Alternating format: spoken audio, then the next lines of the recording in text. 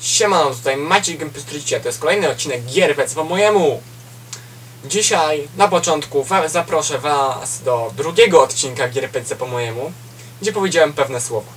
Grafika, powiem szczerze, Criterion Games powinno być zatrudnione przez Electronic Arts do robienia najnowszego Need for Speed The Run, a nie znów ten Black Box. Bo myślę, że Black Box zrobi coś w stylu Undercovera, a Undercover był klapą. Dzisiaj sprawdzimy, czy to na pewno jest prawda. Ponieważ dzisiaj zajmiemy się Need for Speed and the Run. To jest podstawka, oprócz tego wyszła, znaczy premierowa wersja, oprócz tego wyszła jeszcze wersja limitowana. A historia, skąd zdobyłem te dwie wersje? Kupiłem na początku edycję limitowaną za 70 zł. Yy, niestety, wie, pa, pamiętacie ten filmik Need for Speed The Run, pomóżcie. Co mi nie chciało w ogóle działać. Biegi nie działały, wszystkie w samochodach, po prostu tej gry nie dało się przejść. Więc potem, już dosyć niedawno kupiłem podstawkę za 40 zł, udało mi się zdobyć. Yy, także jest spoko. Udało mi się przejść. No i wyszło tak naprawdę jakbym kupił, kupił tą grę yy, oryginalnie. Oczywiście gra została wyprodukowana przez Black Box. Yy, Electronic Arts było wydawcą i dystrybutorem. Yy, gra jest na dwóch płytach DVD, co zaraz zobaczymy. Kosztowała 149 zł. Yy, Wyszła w listopadzie 2011 roku, czyli jako premier, w czasie premiery tego odcinka dosyć niedawno. Ok, na początku zobaczmy co jest w środku. Hmm. No, tu jestem zaskoczony. Tak, oprócz tego, że jak już mówiłem, mamy dwie płyty CD. O. Znaczy, tak, CD. DVD.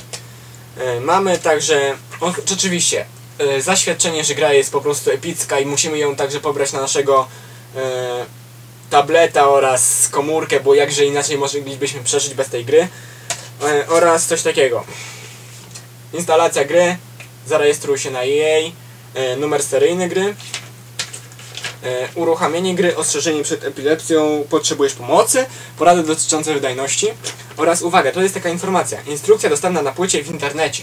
Pozwólcie, że wam to przeczytam. Z poziomu głównego menu wybierz dodatki, a następnie instrukcja w grze, aby uzyskać- dostęp do cyfrowej wersji instrukcji. Ponadto instrukcje można pobrać z serwisu http manuals.ea.com manuals.pl Dziękujemy za wsparcie naszych starań mających na celu zdecydowanie zmniejszenie ilości papieru zużywanego w produkcji gier. No tak, ekologia idzie do przodu, zużywajmy jak mniej papieru, jak najmniej papieru. Ale niestety, no... Fajnie jest mieć instrukcję pod ręką, na przykład...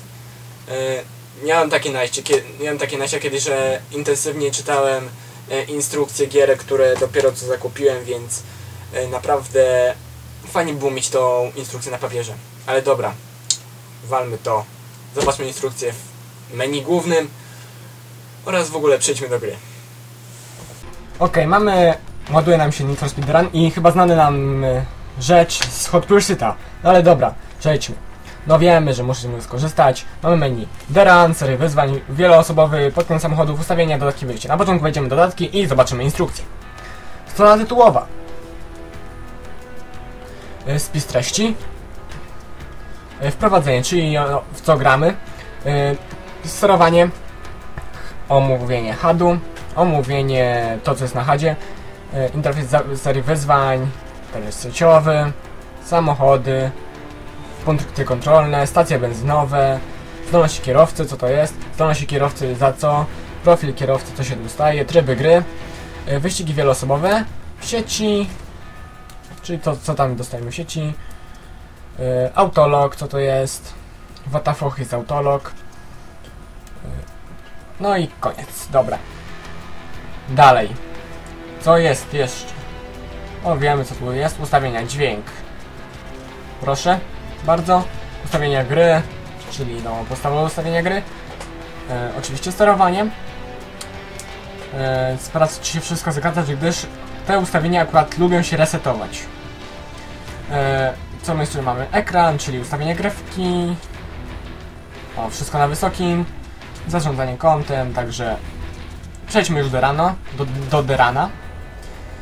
E, Okej, mamy tutaj rozpocznij nowy wybór odcinka. No to sobie wybierzemy odcinek, weźmiemy sobie szósty odcinek, sobie tam pojedziemy. Jest 10 odcinków. Yy, dobra. teraz musimy wybrać samochód.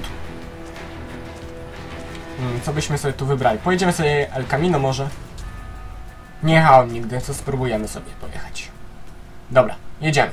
Wow, Fraps mi tutaj nieźle kle... zawala procesor, gdyż ta gra naprawdę dużo procesora zżera, jest bardzo wymagająca, jak dzisiejszy sprzęt. No niestety. E, ale damy radę, mamy jakieś tam 20 klatek na sekundę, także damy radę. Ok, na początku opiszę HUD. E, w lewym górnym rogu mamy zdobyte pozycje, akurat teraz, bądź, e, no, o ile się posunęliśmy do przodu, może tak. I e, ile przed nami jest następny przeciwnik. W prawym górnym rogu mamy czas odcinka oraz e, lider odcinka, jeśli mamy kogoś znajomego w autologu, bądź jechaliśmy już dany odcinek.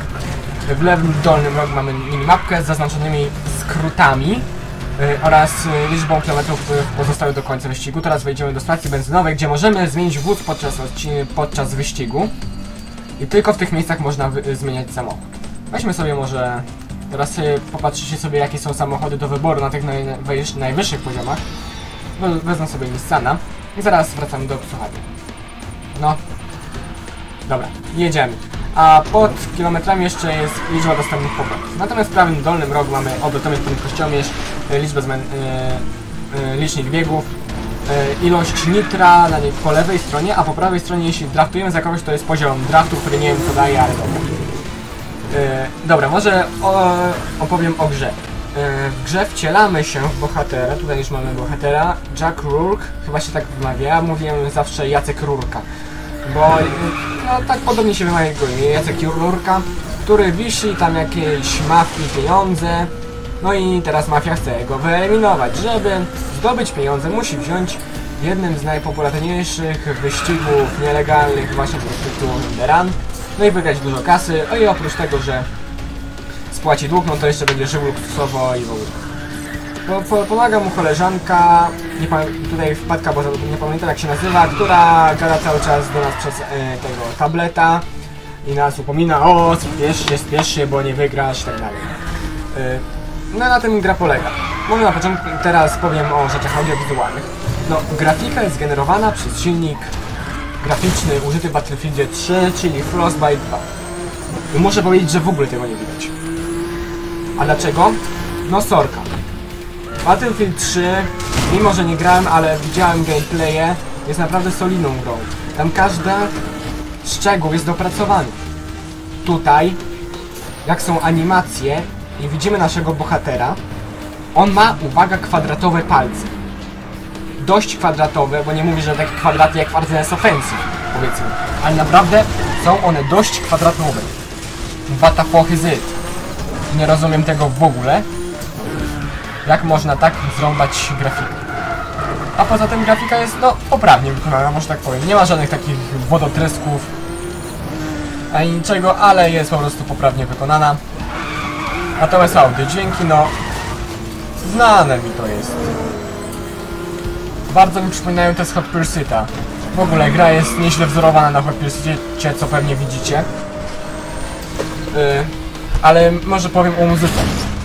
No, są tam jakieś e, nowe nutki, jakiś tam me- metal rock alternatywny, być może z tego co wiem to nie wiem czy jest hip-hop, bo dawno grałem w tą grę, więc mogę trochę lamić, sorry. E, ale, no sorry, leci nam tam jakiś metal alternatywny, na przykład coś takiego jak teraz. Ale teraz zobaczycie i będziecie świadkami, bo ja to nagrałem. W kolejnej misji będzie leciał blues rock z 1968. Będzie to piosenka On the Road Again, current hit, znana nam z Battlefielda 1. O, to jest dopiero dogranie, nie? Dobra, kończymy wyścig, zaraz sobie posłuchamy właśnie tej muzy. Eee, a jakie są samochody? Samochoda, samochody, mów, już mówiłem, że możemy wymieniać na stacjach benzynowych. Na razie przerwę temat, ponieważ skończyliśmy wyścig. Pokazuje nam się czas wyścigu, ile gramy teraz. Pozycja w Daran, to się nam zmienia. Eee, no i sobie odjeżdżamy. Ile dostaliśmy expa, ponieważ expo się dostaje za przeróżne rzeczy, potem powiem. Yy, No i kontynuujemy zawody. Dobra, mamy wyścig, no i cóż, czeka hita. No i... Tak. Yy, co, o czym ja to mówię? Już zapomniałem, dobra, nevermind. Na początku, teraz powiem, na początku tego wyścigu powiem o właśnie typach wyścigów. Yy, Jest szalona liczba, aż 3.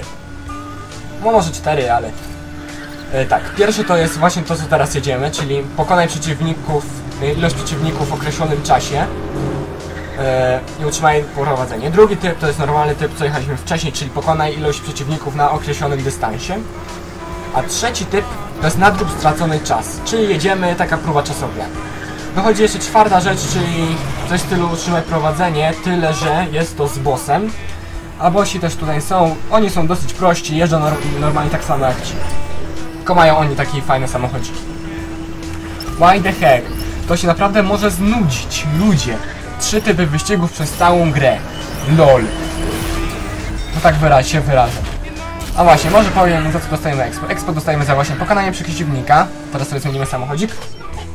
Czy za coś jeszcze? Yy, dostajemy za drift, który często nie jest driftem, a dostajemy za to Expo. Teraz sobie może Quattro wezmę. Yy, za co jeszcze? Za wyprzedzanie. Za czyste nieczyste, czyli jeśli przejdziemy obok gościa, którego wyprzedzamy, to dostajemy punkty, a jeśli go walniemy, to dostajemy trochę mniej punktów, ale też dostajemy. Yy, czy za coś jeszcze? Za skróty dostajemy nitro, na pewno. Yy, nie pamiętam czy właśnie, no chociaż zaraz zobaczymy może. Yy, ale na próbach czasowych możemy dostać za czas. Dobra. Yy, z jakiej pozycji startujemy? Z tego co pamiętam jest to ze 150. Nie, z 150 musimy dojechać, sorry. Yy, z jakiejś 200 chyba. Mamy być pierwsi. Ostatni boss, czyli szef o tej szajki, który, której wcimy pieniądze, po prostu yy, też chce wygrać, bo nie ma co.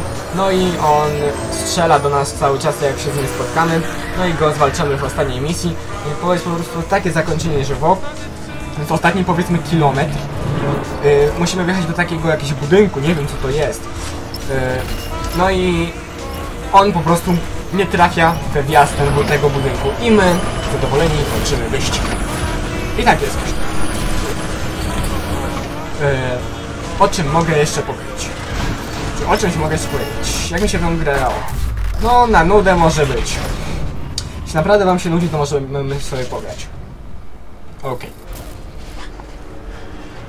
o powrotach. Po co są te powroty? To jest, yy, nie wiem czy akurat zarżnięte, ale pamiętam, że coś takiego było w Colin McRae Rally Dirt, Colin McRae Rally Dirt 2, że było coś takiego, powrót na trasę. Ale tutaj jest powrót do punktu kontrolnego. Alert. O, to jest ta babka.